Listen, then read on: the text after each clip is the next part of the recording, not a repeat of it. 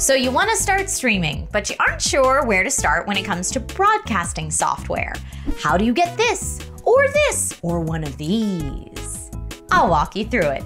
This is DIY in 5. Welcome to DIY in 5. My name is Trisha Hershberger, and today we'll go over setting up popular streaming software like OBS, Streamlabs OBS, XSplit, and how to personalize and really up the production value of your Twitch, YouTube, Facebook live streams, or recorded gameplay footage. If you're looking for more information on the hardware setup for live streaming, particularly from a console like a Nintendo Switch, check out some of our previous hardware focused videos linked in the description.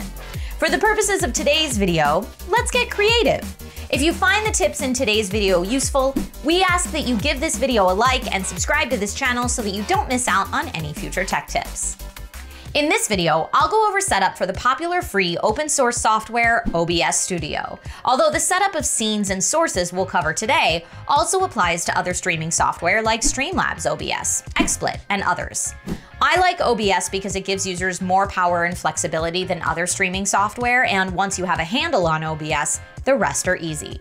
In OBS, you'll see from left to right, scenes, sources, audio, scene transitions, and controls, as well as a preview of what you're recording or streaming in a large window above. Scenes and sources are the meat and potatoes, and where we'll spend most of our time today. A scene is a combination of sources that make a whole audio video experience for your viewers, and a source is each specific audio or video element that you add into your scene. You add in sources one by one until you have the look and feel you want for your stream. Most beginner streamers will start with one scene and add more as they get more comfortable streaming. So let's create a basic gameplay capture scene first. When adding your source that will make up your scene, think of the necessary items that you'll want in your stream and add them in one by one. Your game and your microphone are a good place to start. Click the plus sign at the bottom of the source section and add your gameplay by clicking either display capture to capture one monitor of a multi-monitor setup, game capture to capture a windowed or full screen game on either the same or a different monitor, or video capture device if you're using a capture card to play either from a console or a separate PC. After you select the type of source you'd like to add, a properties window will pop up with a few options for you to choose from. For example, here's the game capture property screen, and I have options like capture any full screen application, capture specific window, and capture foreground window with hotkey, as well as other options like capture cursor, etc. If there are options listed you don't understand, I suggest keeping it on the OBS default and only adjusting if you have any issues. Click OK, and this will now show your game capture video in your OBS preview window, and you have successfully added your first source. Huzzah! If you want to also add your game audio to the broadcaster recording, this needs to be added separately. So again, click the plus sign under Sources, select Audio Output Capture. Select your desktop audio here and hit OK. You will see your audio output now show up in your audio mixer to the right, which you can use to adjust volume settings or mute directly in OBS.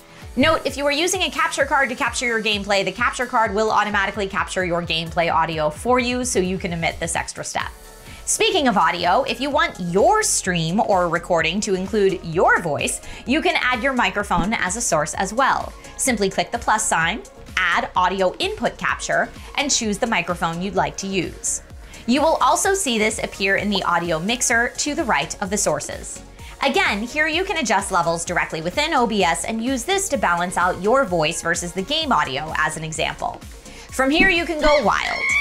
If you'd like to add sources like alerts, chat widgets, donation goals, etc., there are popular free tools like Streamlabs and Stream Elements that can help you set that up and add it into your OBS, often as a browser source. And because OBS is open source, there are countless plugins you can get as well, say for an on-screen timer or otherwise. Finally, right-click on your scene name and name it whatever you'd like. Let's go with gameplay for this one. Now you have your first scene. From here, you can really get creative. Start a new scene, let's say a welcome or starting screen.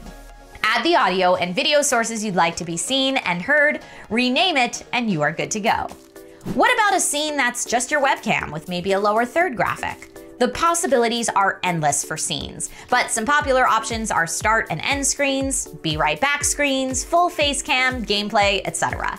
The buttons on the right hand side include Start Streaming, Start Recording, Start Virtual Camera if you want to use your OBS preview as a webcam source for video chat services like Zoom, etc. Studio Mode, which allows you to prep or change a scene before it goes live. Settings, and a way to exit OBS when you are done. As far as your overall OBS settings, say for audio, video, stream output, and stream key, these will vary depending on which platform you want to stream to, Twitch, YouTube, Facebook, etc. And if you stream to multiple platforms, you can even set up multiple profiles to quickly switch settings on the fly. We'll go over how to find the optimal settings for your setup, bandwidth, and preferred streaming platform, as well as how to set up multiple profiles and scene collections in a separate video. I hope this helps you to navigate streaming software a little easier and really personalize the look and feel of the content you want to put out into the world. Feel free to drop any questions you might have in the comments. See you next time for a deeper dive into stream settings, and happy streaming, everyone.